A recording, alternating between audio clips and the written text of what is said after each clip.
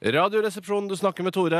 Hei, journal på Tjobing, Toremann. Jack Merseth fra managementet som kontakter deg, direkte fra en nyolja elektrisk rullestol i Buskeruds egen avle Hønefoss, også kalt menstruasjon på folkemunne, fordi høne er en metafor for det kvinnelige kjønnsorgan i visse kretser.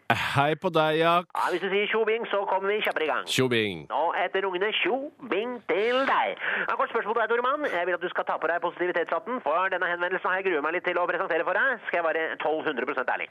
Ja, nå er jeg spent, Jack? Å nei. Storfilmen Pax skal Å, herregud, Jack. Hør hva jeg har å si. Ja, Det har et eller annet med storfilmen Pax å gjøre, mann. Ja, men, men Har du på deg positivitetshatten, Toremann? Det er veldig viktig at du har på deg positivitetshatten. Ja, Greit, jeg har den på. Ok, greit. Storfilmen Pax skal gis ut på DVD og Blu-ray. Den skal det, ja. Den skal.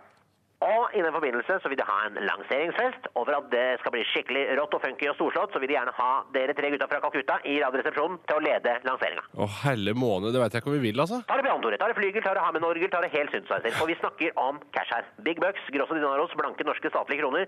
Pax har nemlig fått støtte fra Statens nasjonale fond for lansering av spillefilm nasjonalt, og selve lanseringsfesten har fått 4,3 millioner kroner for at Pax i hvert fall skal gjøre det bra på DVD og blåserolle.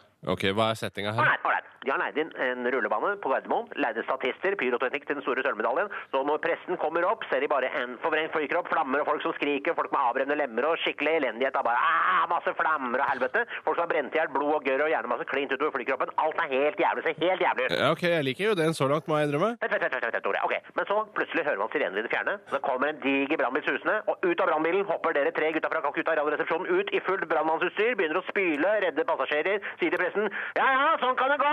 Hjertelig velkommen til DVD-lansering av Solfjord Fax! Og så bare fortsetter, ikke sant? Så er det i gang.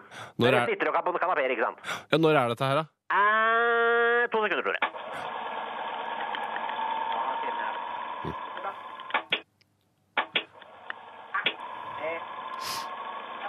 Ja, Der er vi tilbake 4. juni. Ok, Hvor mye får vi for det? Ja, skulle jeg. To sekunder. Ja, 15 000 for alle tre. Vi driter i det, vi, Ja. Kunne ikke vært mer enig. Dette driter vi ikke noe dårlig med. Noen dukker opp igjen. No sweat, og ikke tenk på det, Tore. Ålreit, ja. Vi snakkes. Hei, hei. Hei.